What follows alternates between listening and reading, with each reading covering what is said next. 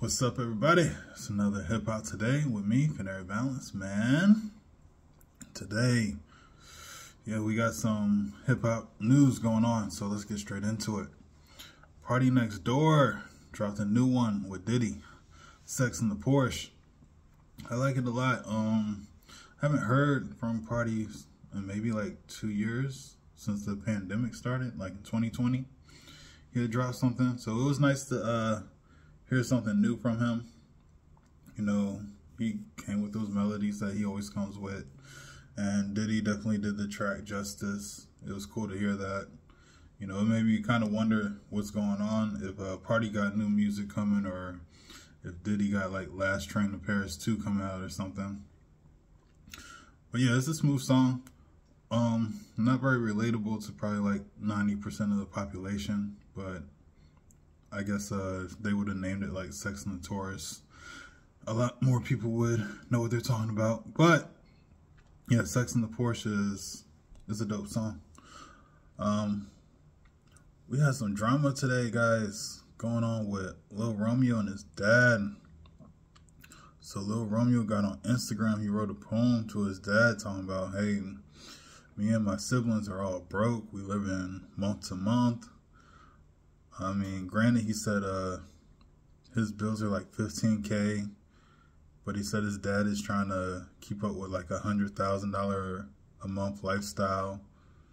He said that he never touched none of his little Romeo money, none of his rap snacks money. And he said that his dad uh, paid it all back to his taxes.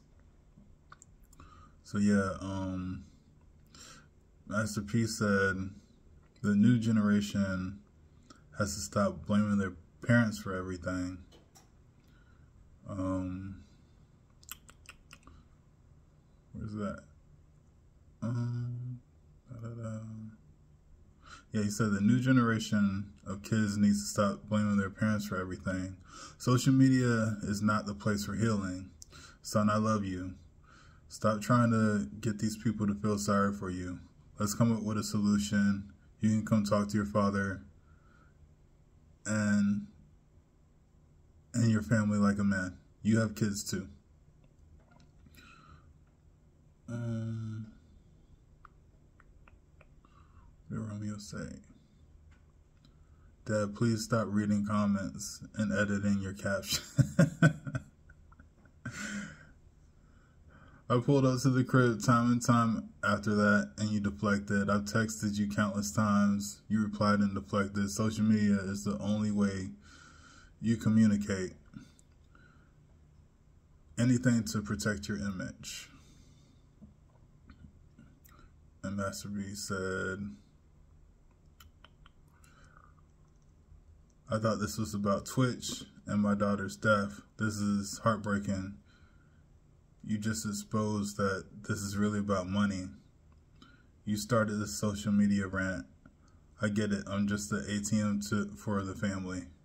I don't care about an image. I'm going to keep working, keep praying, and letting God guide me. Mental illness is real. Yeah, so they were going back and forth about it. And you know, it's kind of sad. You know, Romeo said that a lot of it's a facade and they're not really living the way that they're portraying on TV, which that's perfectly fine. But it's just, uh, you know, it's crazy to see these type of things like happen, right? Because I remember being young back when I was like maybe like 10, 11 years old. No, actually, I'm older than Romeo, so I would have been like 12 or 13. And I remember seeing him on MTV Cribs with uh, him and his dad. His dad had just bought him like his own house, and he already had like Benzes and stuff outside before he could even drive. So it's crazy to see life or it be portrayed like his life be portrayed like that to what he's talking about today on Instagram. That's something that, you know, none of us would have ever seen or thought or had any idea of what would happen you know, hopefully, uh, you know, Master P, he made a quick clip, you know, saying, hey, I'm sorry if I'm wrong. I'm still a work in progress. And he said the way that he heals is helping out the community. And, you know, I believe Master P loves his son and his other kids. Um, you know, the older generation got a weird way of showing their love to their children.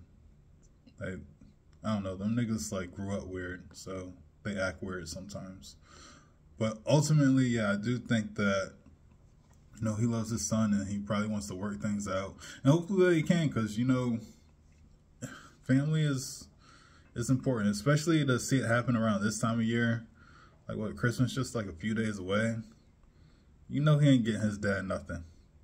The way he's making it sound, he don't even got money to go get his dad nothing. So, hey. But yeah, guys, let me know what y'all think down in the comments. Uh, like, how long are parents responsible for their children?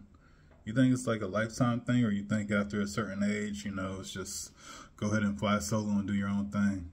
Anyway, that's another one me, Canary Valens. Peace.